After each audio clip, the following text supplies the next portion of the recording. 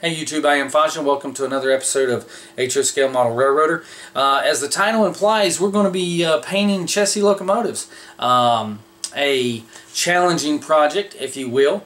Uh, a friend of mine has a layout that's uh, in progress. He's running trains on it. We've had a couple operation uh, sessions there. It's the uh, Chessie system Thomas subdivision and it's modeled around 1980. Um, right after becoming friends with Andrew, he uh, asked me if I thought I could paint some Chessie locomotives for him. I said, sure. And uh, at that moment in time, I didn't appreciate the challenges that would go along with agreeing to that. But uh, we've both learned a lot. Uh, we used a lot of uh, prototypical pictures uh, to help us decide on the paint. The paint was the very most was the most frustrating part of this because you can't find vermilion anymore. You can't find C&O blue anymore. You can't find C&O yellow anymore, uh, or as as available as it once was. Okay, so here's a look at some of the prototypes we uh, we found on the internet to go along with this project. I was really looking for any real pictures that I could have as a comparison to what these locomotives look like as far as being prototypical. And it, you know I got into this project and I was pretty excited about it. And I was thinking oh you know I'm all big and bad. I can uh, I can do this. It shouldn't be a problem. But in the end it turned out to be a really huge challenge for me a challenge that I, I enjoyed but at the same time I learned a lot from and that's the important thing about you know when you're doing any kind of hobby you always want to try to learn from something. So uh, these were the pictures that we used as the prototypical pictures. Uh, it allowed me to see the varying differences in some of these locomotives and now uh, we're going to take a look at an actual model and some close-up pictures of uh, what they look like this here is an Athearn SD 40-2. Uh, it belongs to the client and uh, I really took some close-up photos of it to have something to compare it by. Looking at prototypical pictures is really good for a project but sometimes you can't get the up-close detail that you can uh, from looking at a factory model. Now based on the client's uh, statement about this locomotive it's it's pretty pretty close to to being what we wanted to do uh, but not really. Some of the colors didn't match up in the right ways, and um, but again, just just trying to get as much information about uh, a project is is the key thing. Um, like in this next coming picture here, you're going to see the the yellow on the bottom, the vermilion in the middle, and then the blue on the top, and how it cuts by the rear cab window, and even the blue goes under the sunshade. So right there on the window on on the window uh, edges, you got three different colors. You got yellow, vermilion, and blue. So those type of details you really want to see where they are because they're going to help you with your taping. Here, taking a look at the front of the cab, you can see you got uh, you got blue on on the frame and the walkways, uh, yellow on the horizontal pieces, uh, a blue vermil or a vermilion stripe that comes around the front of the nose, and then the top of the nose is blue. Um, this this I know is going to present some challenges for me, but again, looking at everything, um, just anytime you do a heavy project, just get as much information as you can. Now on this side over here, uh, this uh, this is gonna this is gonna be fun. Uh, you'll notice uh, the and forgive me if I don't know all the prototypical names of everything, but right there on the left side, on the fireman side, in front of the Chessie cat, you'll see that hump that comes out from the uh, from the side of the shell. I don't know what that is, but uh, I know it's going to be challenging when we get to the point of painting it. So. Um, let's go ahead and uh, take a look at the uh, the paint we used. So here we go. Uh, here's the Signal Yellow and the uh, C&O Enhancement Blue and the Scarlet um, paint we decided to use from Polyscale.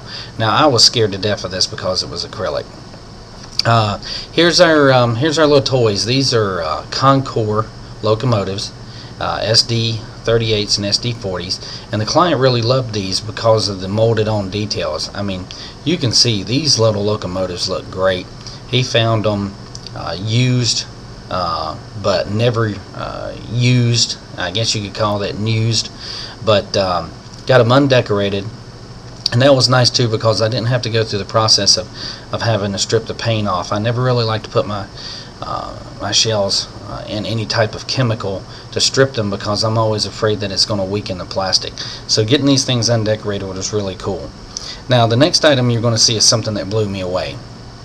Uh, when we started researching this further, uh, we found out that Chessie had a rock plow or a rock pilot and they didn't use a conventional snow plow and once we dug into this uh, to, to make it look like we wanted it to look uh, we decided to uh, track these things down.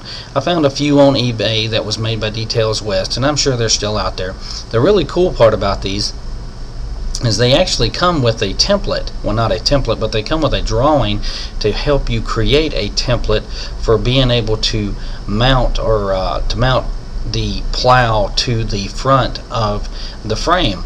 So what we ended up doing here, as you can see right here um, it has uh, it tells you where you need to put the holes. So all you really had to do was to come up with some type of um, plastic or something to make you a jig out of and then hold that up in front of the locomotive.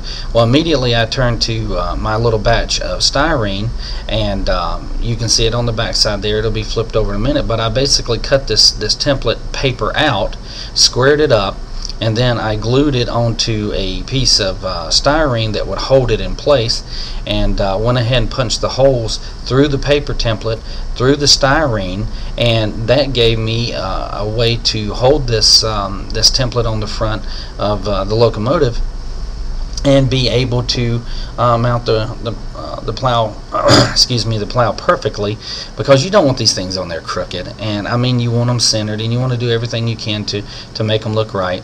Uh, this is a uh, photo here with the uh, with the plow um, uh, with the plow mounts pushed through the the styrene.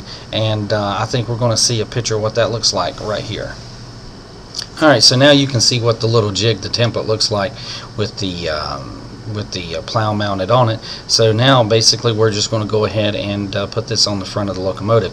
Now as you can see, if you haven't noticed it, yeah, we got a problem. I'll give you a second for you to, uh, to take that in. If you look at the front of this thing closer, you're going to see that the, uh, the coupler box there, the molded on coupler box really protrudes from the front of this thing. And uh, I was like, this is going to be a problem. As you can see there in this photo, uh, a lot of that coupler box had to uh, had to go bye-bye. So uh, what we um, what I ended up doing was giving this thing some thought, thinking about the best way to get rid of it. Uh, I thought about an X-Acto knife, but sometimes X-Acto knives can slip. So uh, what I ended up doing was taking this thing and using a um, a little um, uh, a little sanding tool uh, that goes in a Dremel and you can see there in the background where I went ahead and trimmed the front of it off and the step off of the, uh, the front of the frame. So here's the one on the left that I did and the one on the right uh, that I've not done yet. You can see how much I had to take off. Um, I can tell you, when you're working with these things with a Dremel tool, be really careful, go real slow, wear safety glasses, um, and just be careful because if that Dremel gets away from you, uh, it'll eat up something and mess it up. So we got this squared up and I said, you know what, uh, this looks pretty good. I'm going to um, I'm going to leave it alone and um, see what happens and uh, now we're going to move on to the sunshades. Now I fought on this thing for several days. I mean really just frustrating myself trying to come up with a jig for this thing and then the end I said you know what I said I'm just going to take this thing and put it on there and see what happens. I said, Lord, show me how to do this. Now, the sunshades uh, that we used were just basic Atlas sunshades. Uh, the one thing that you do want to be careful about these things, and I'm going to talk about it later, is that well, when you buy them, there's always some kind of flashing. Um, the leftover portion from where uh, the plastic part was uh, was molded from the factory, and you want to make sure and take that off. If not, it's uh, it'll it'll it'll take away from the details. So what I decided to basically do was just take a sunshade, flip it upside down, put a piece of tape on it, and then mount it to uh, the top of the locomotive and just let it hold in place and you're going to see that right here in just a moment in a picture so basically there you go I lined it up uh, where I thought it should be. I grabbed a magnifying glass and a straight edge to make sure that it was level, and um, we. Um, it, it, seemed to work and I said you know what? I'm gonna try it. Now I'm not gonna lie to you. I tried it on one of my locomotives first to make sure that it would work and and it did. We just lined it up by sight and got it in there where we needed it to be at now, when you go about doing this, as you can see here, I use my trusty little pick just to mark the plastic. So when you put the drill bit on it, the drill bit will not dance on the plastic. And what I mean by dancing is if there's not some type of indentation for the drill bit to stay in, when you start to, uh, to twist it, uh, it'll start moving all over the place. So you can't really see it in this picture, but I put a nice little little mark in there, leaving enough room from the the um, the uh, the ridge line there so that the bit wouldn't turn into it. Um, used a number 0.71 or 0.77 uh, drill bit for this and there's the results. Uh, it looked great. I mean I, I, couldn't be more happy with it. They were nice and level. Uh, so uh, the next step was to uh, to grab a, uh, a sunshade and see if it would fit.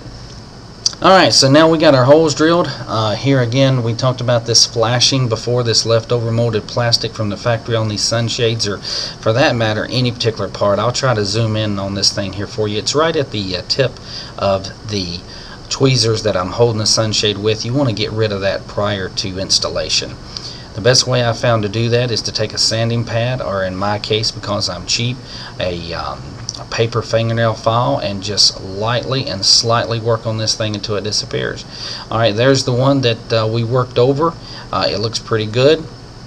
Pretty happy with it. We didn't take anything off that we didn't need to. There's the finished product.